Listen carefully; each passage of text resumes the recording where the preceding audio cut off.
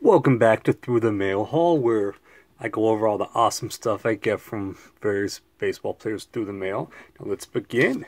Number one. Number one is Tyler Saladino from the White Sox. Thanks for getting back to me. Number two. Number two is Ross Stripling, who's a pitcher for the Los Angeles Dodgers and uh, just made the World Series a couple days ago. And he sent me three cards. So thanks, uh, thank you, Ross. Congratulations on making the World Series. Unfortunately, you're going to lose to the Astros. Sorry to tell you that, but thanks for responding. Number three. There's two in here.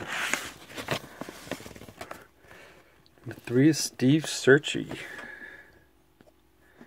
Can you see? And he also was nice enough to give me an index card. Number four. Number four is Brad Ziegler from the Arizona Diamondbacks. Cool.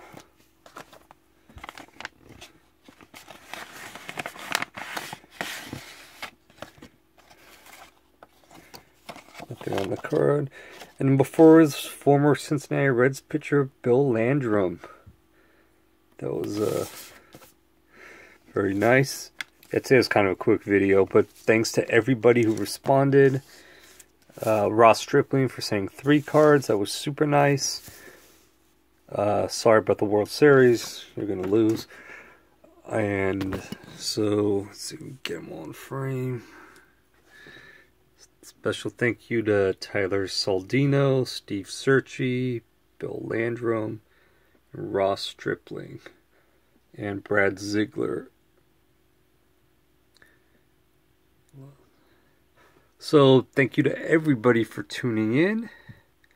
And uh, until next time, peace out, everybody.